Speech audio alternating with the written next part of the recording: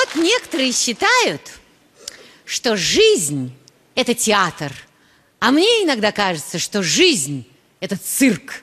Три раза находила свое счастье и три раза с ним разводилась. Помню, по молодости влюбилась в артиста Гешу. Меня подруга познакомила, она с ним по телефону разговаривала и шепнула «Это мужчина твоей мечты» и сунула мне трубку. Ну, договорились встретиться у метро. Я его спрашиваю «А как я вас узнаю?» Он говорит «Я брюнет». Я говорю, а глаза? Он говорит, есть. Я говорю, а я буду в модной шляпке, рост 170, вес 63 килограмма. Он говорит, а я буду в кепочке с весами и рулеткой. Ну, я пришла, вся такая модная, знаешь, Платье новое надела, прическу себе сделала, челку, один глаз вперед смотрящий, второй под челкой, как бы в засаде. А у него глаза такие большие, и они так ласково смотрят друг на друга.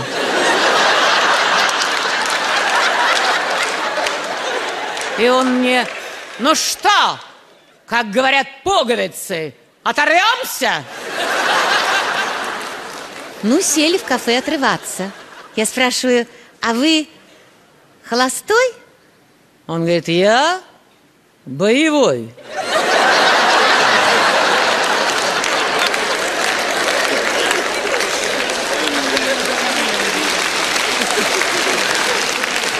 Спортсмен, могу упасть и отжаться. Я говорю, а я могу только упасть. А он так вкрадчиво, а вы по Козерогу кто?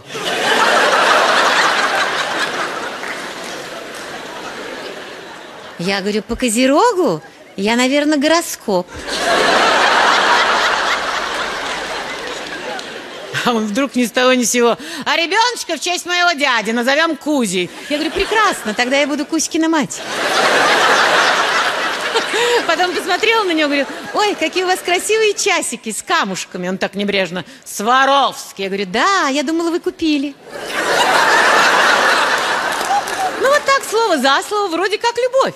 Но через какое-то время стала уставать от его сюрпризов. То вдруг решил, что он вегетарианец. И мне сразу задание. Приготовь морковные котлеты. Я говорю, а отбивные из укропа не хочешь? Потом смотрю, через какое-то время мясо ест. Я говорю, что ж ты мясо ешь? Ты же вегетарианец. Он говорит, а я пощусь. То вдруг начал изучать китайский язык. Я говорю, почему китайский? Учи английский. Нет китайский. Я говорю, ну как по-китайски будет очень хорошо? Он говорит, осень колосо. Потом просто злить меня начал. Купил какую-то сковородку для своих диетических блюд. И главное, меня спрашивает, как узнать, что сковородка нагрелась до определенной температуры? Я говорю, а ты лизни. А из-за чего окончательно развелись, ехали через какую-то деревню. Геша был за рулем и не вписался в поворот. Влетел прямо в какую-то избу, а там бабка на печи сидит. Так Геш как ни в чем не бывало. Как проехать на Москву? Бабка ему говорит, сынок, прям через кухню, хренач.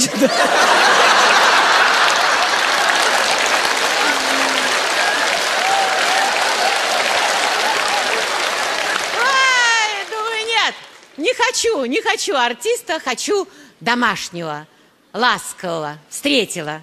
Очень даже домашний. Игорек. Ага, среда обитания рядом с холодильником. Говорю своей подружке Таньке, у меня Игорек не курит, не пьет, не бабник. Танька говорит, а он у тебя не дурачок? Ну, поначалу следили друг за дружкой. Он рюмочку выпьет, я говорю, ой, по глазам вижу, что ты пил. А он мне говорит, а я по бокам вижу, что ты ела. Поначалу все было хорошо. Потом обнаружила один минус. Игорек был жутко ревнивый. Он ревностью весь свою мамулю пошел. Та вдовой вышла замуж за бухгалтера и просто извела его своей ревностью. Бухгалтерия кричит, развод! Она говорит, никаких разводов. Вдовой взял, вдовой оставишь.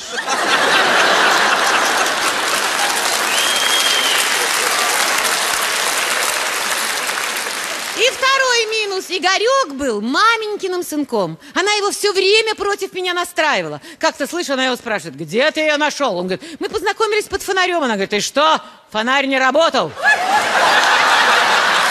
Поехали с ним отдыхать в Прибалтику. Пограничник спрашивает, оружие, наркотики есть? Он говорит, не знаю, меня мама собирала.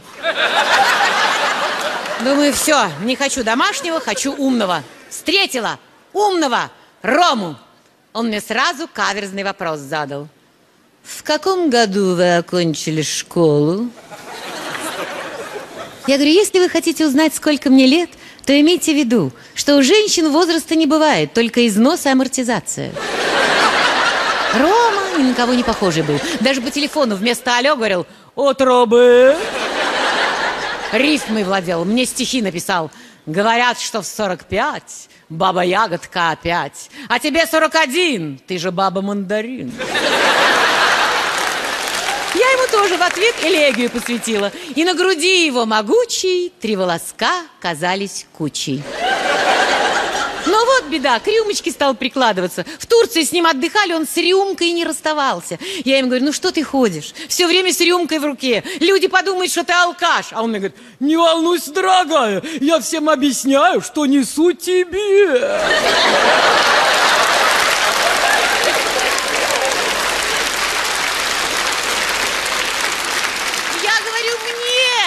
нужны внимание и уход. Понятно? Он говорит, понятно. Внимание, я ухожу. Ну что ж, любовь учит нас прощать. Так что прощай, милый. И только с возрастом поняла, что можно было и не разводиться. Один муж был красивый, другой ревнивый. У третьего любимый праздник был День строителя. Все время из себя что-то строил. А идеального так и не нашла. А потому что идеальных-то, наверное, не бывает. Ой, а развод – это же путь к одиночеству. Ну что такое муж без жены? Это как дуб без дятла.